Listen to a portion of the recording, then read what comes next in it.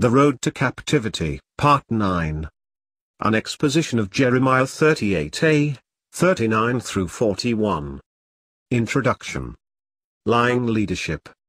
Last month, in the treatment of chapter 38, a leap was made over the first few verses of the chapter. This was done in order to focus on the mistreatment of Jeremiah, when he was placed in a dungeon with horrid conditions, his relief and subsequent release after the capture of Jerusalem. Now it is necessary to investigate these first few verses and their relevance to paving the road to captivity.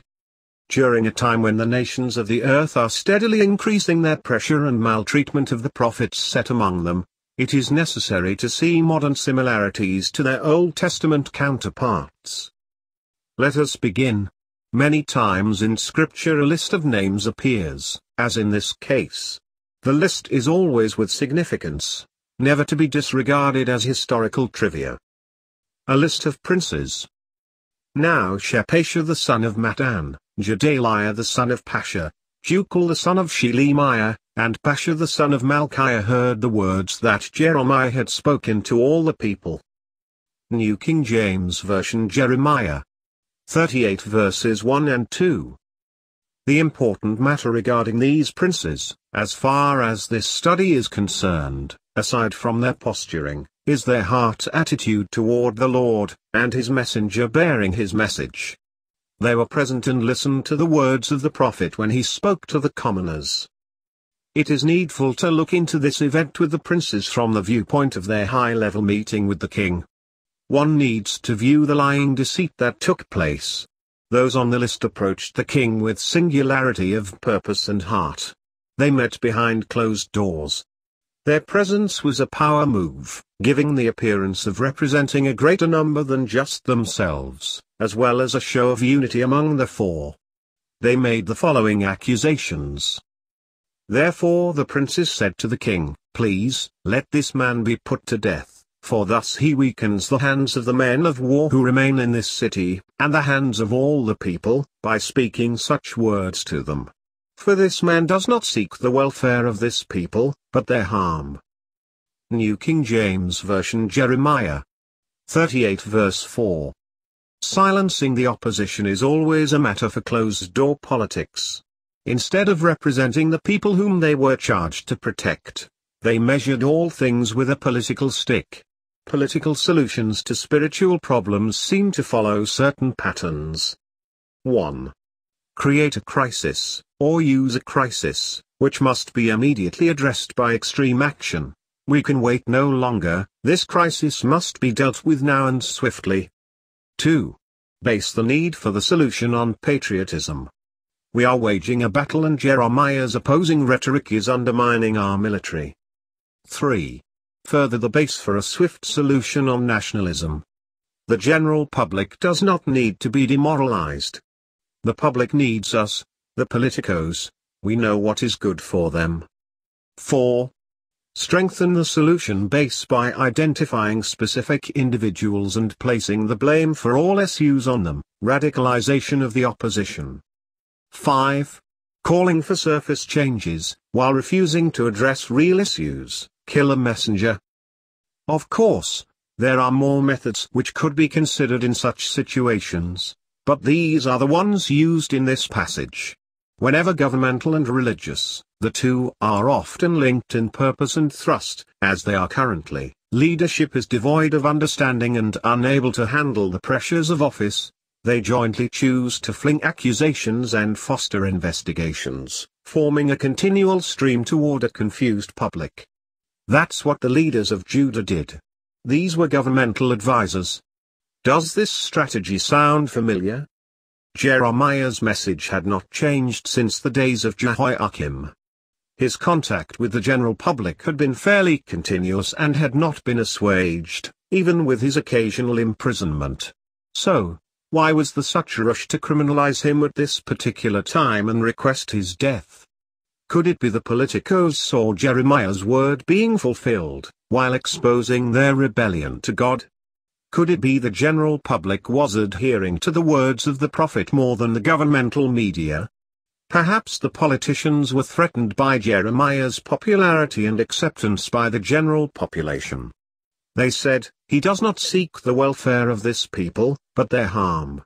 In other words, the nobles felt their cause was justified. Their reasoning was, we seek the welfare of the people.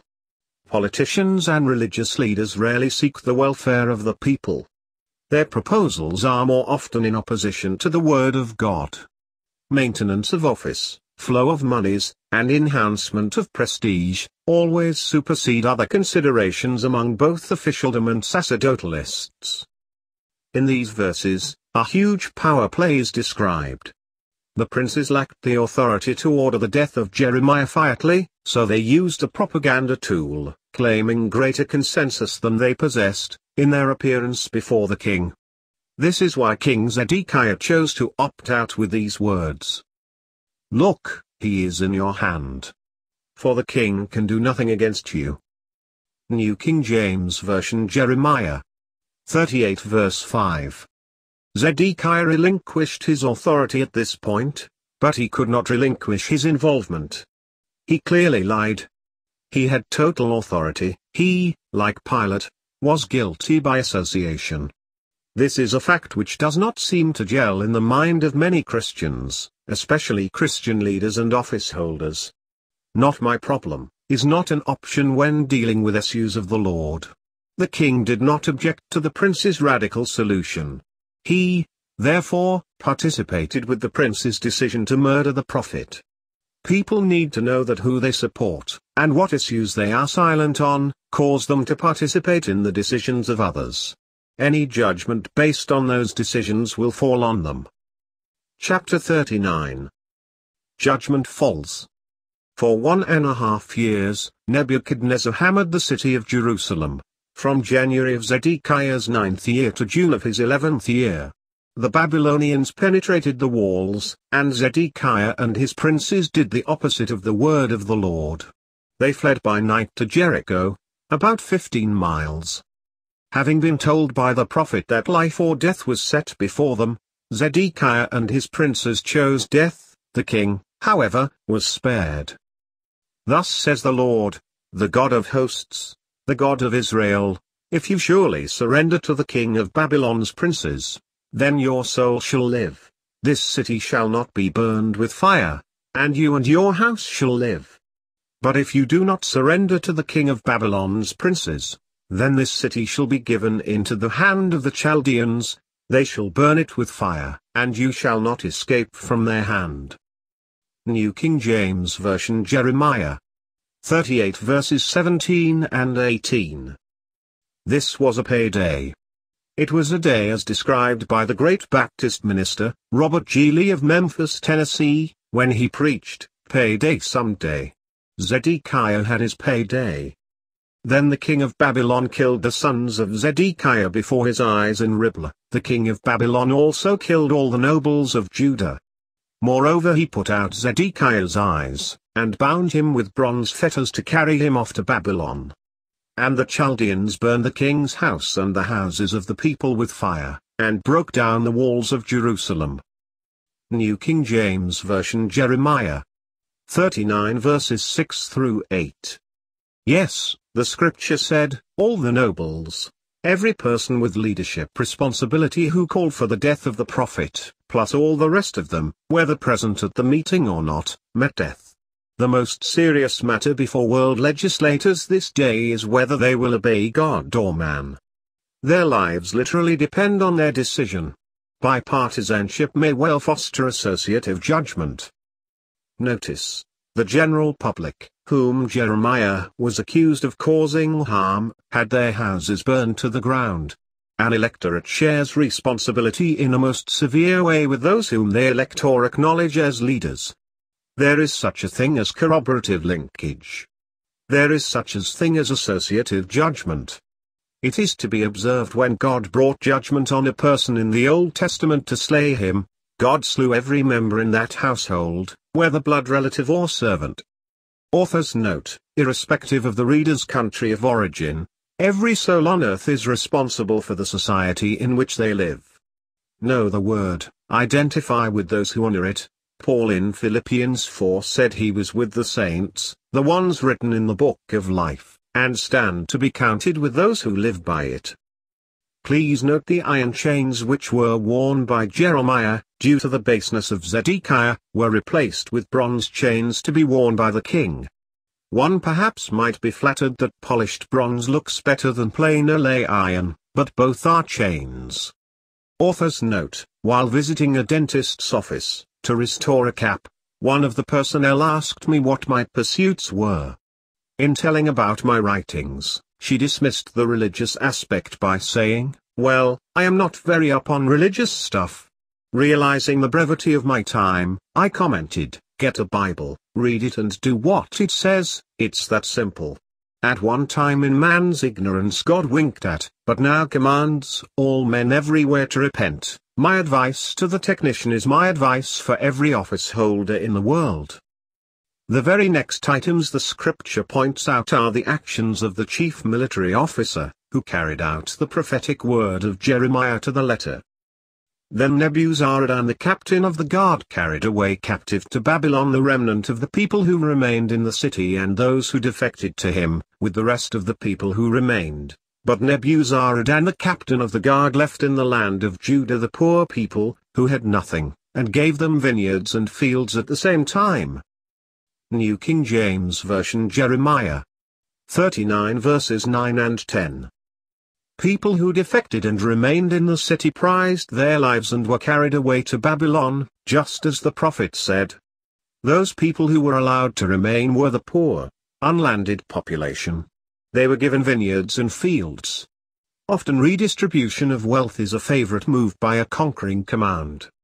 The Babylonians had long since carried away the promising youth such as Daniel, Shadrach, Meshach, and Abednego, they also dismantled, by liquidation, the officials of the former administration.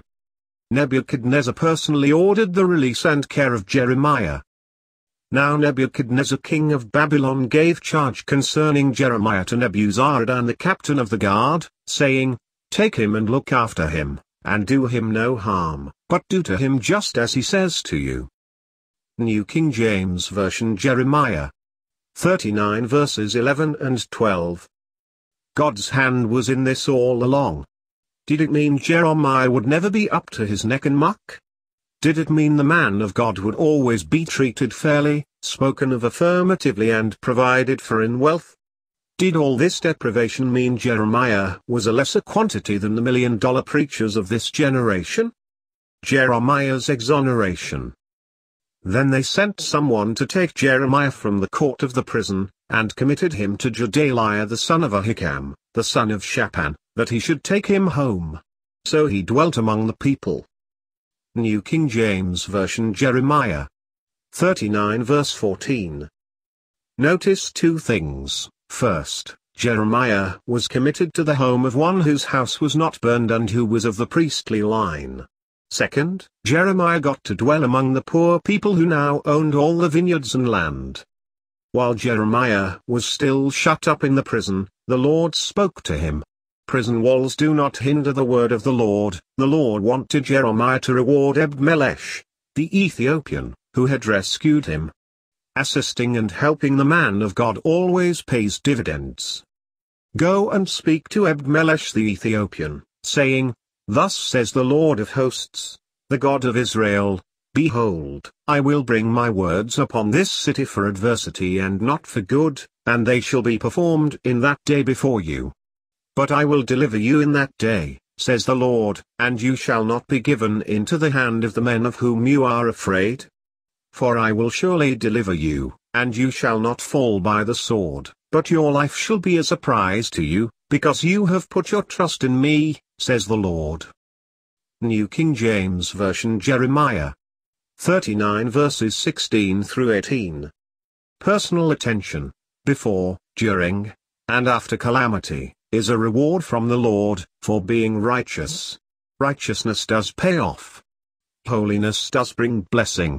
While governments go crazy and every aspect of society is threatened by extinction, the peace of God rules because he sent his word. Better to be Ebed-melech than to be the king. In the mad scramble for recognition and power, especially in the ministry, it is good to view Ebed and remember the Rechabites. Author's note. This picture is from the heart of Port-au-Prince, Haiti. Look at the peace of God on the face of one who is clothed, fed and blessed of God in the middle of tragedy. Houston Chronicle, February 11, 2010.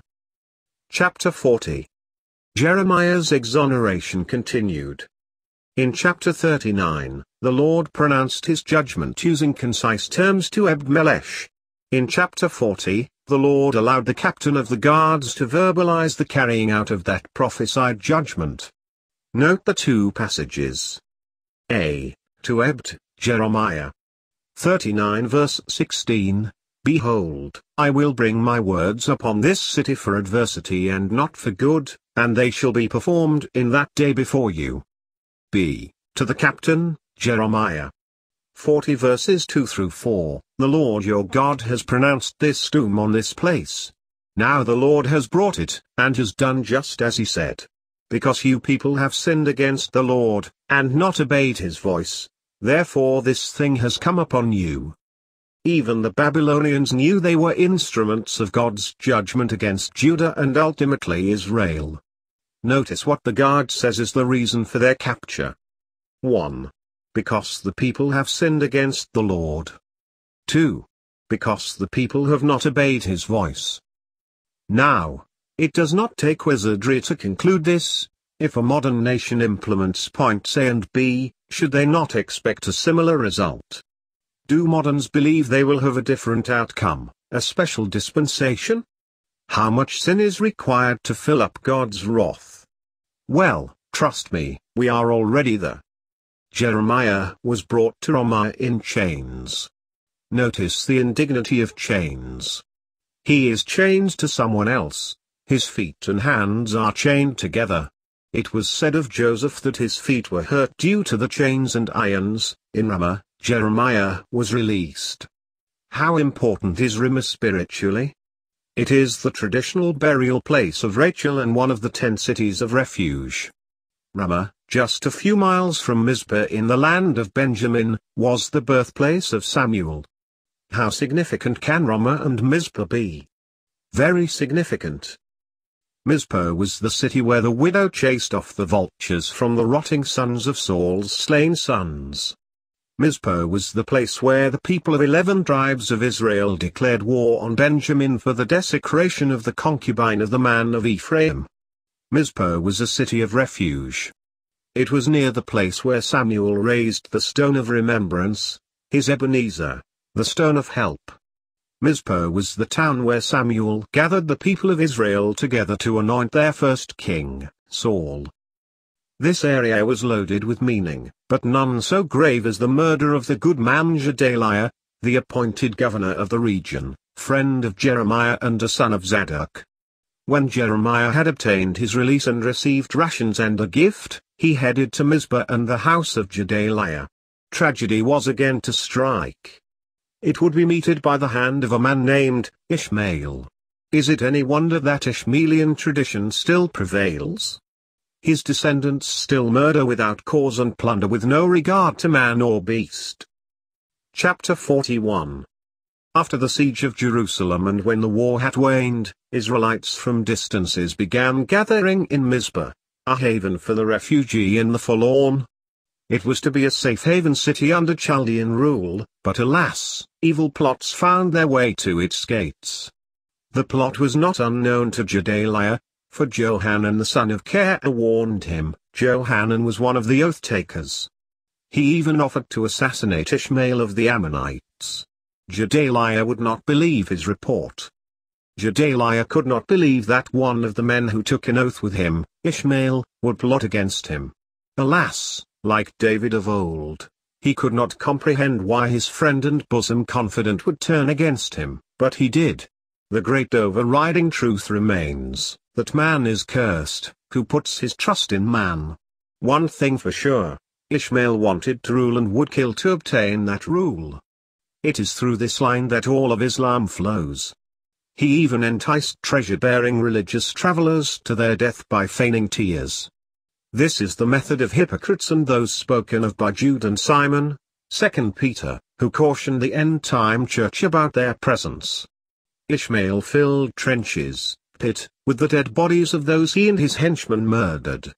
It meant nothing to them that human life was taken. Soon, however, the hunter became the hunted as Johanan, one of the field fighters for Israel, heard about the crimes. He pursued Ishmael and his gang, but by this time, God's people had been pirated away. Housed among those captives were the daughters of the king, Zedekiah, and they had to be rescued so God's great plan for future generations would be fulfilled. The future of those daughters would determine future history. Egypt. The worthless followers of Ishmael fled to take refuge in Ammon when the children of the Lord left off pursuing them. The remnant of Judah turned to dwell in another place of safety along with Johanan, the place was Chimham, which is near Bethlehem. Their fear of the Chaldeans and the surrounding territories caused them to look longingly for safety of another kind. This was a fatal error. They looked back toward Egypt. Once God delivers one from a place, one is never to return. Herein is the tragic error of church folks and nations. But it happened in the seventh month that Ishmael the son of Nethaniah, the son of Elishama, of the royal family, came with ten men and struck and killed Gedaliah, the Jews, as well as the Chaldeans who were with him at Mizpah. And all the people, small and great, and the captains of the armies, arose and went to Egypt, for they were afraid of the Chaldeans. 2 Kings 25 verses 25 and 26. Egypt had been a great place for refuge in the past. Abraham went there due to the famine in Canaan. Even though his lie about Sarah cost him needless dismay, God prospered him greatly. I believe it is at this juncture he acquired Hagar, the Egyptian. Joseph suffered there, but rose to power under the hand of the Lord. He later brought Israel and his brethren to the land under Pharaoh's insistence. Moses was born there and though persecution was taking place, the children of the Lord were delivered from their rapacious host. Egypt's double-mindedness hardened their hearts. Egypt was a repository for much treachery after the children of Israel escaped with Moses. Solomon made a treaty with Egypt and thereby married Pharaoh's daughter, making an alliance which proved to be his spiritual downfall. Various persons of importance fled from time to time to Egypt. Hadad, for instance, was an adversary of the king when he fled there. He wound up marrying into the royal family 1 Kings 11 verse 17, which became an unholy alliance.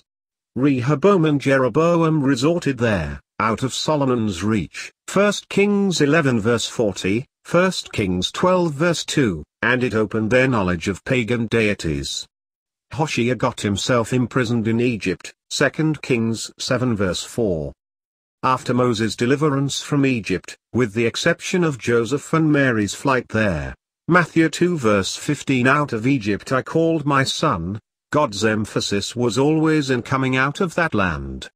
Here are some reasons why. 1. Egypt was cursed, a. Ezekiel 30 verse 6. Those who uphold Egypt shall fall, and the pride of her power shall come down. B. Zechariah 10 verse 11. Then the pride of Assyria shall be brought down, and the scepter of Egypt shall depart. C. Joshua 5 verse 8 and 9. Dwelling in Egypt caused Israel to compromise. So it was, when they had finished circumcising all the people, that they stayed in their places in the camp till they were healed. 9 Then the Lord said to Joshua, This day I have rolled away the reproach of Egypt from you. Therefore the name of the place is called Gilgal to this day. 2. Egypt was a pagan, animalist, spiritist state where witchcraft and darkness were invasive. Just living that tainted the mind. But they rebelled against me and would not obey me. They did not all cast away the abominations which were before their eyes, nor did they forsake the idols of Egypt. Ezekiel 20 verse 8 Ezekiel compared Jerusalem to a whore that went to Egypt to make illicit love. This was how he drove home the fact that the allurement to go to Egypt was more than a safety net against invasion or famine. It was the product of a seductive occult. Speaking about Oholibah, Jerusalem, Judah, yet she multiplied her harlotry in calling to remembrance the days of her youth, when she had played the harlot in the land of Egypt. Ezekiel 23 verse 19. 3. Egypt was always an easy option in the mind of the rebellious.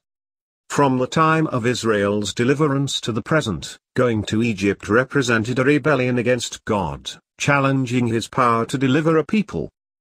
When the children of Israel rebelled against Moses, Israel wanted to return to Egypt.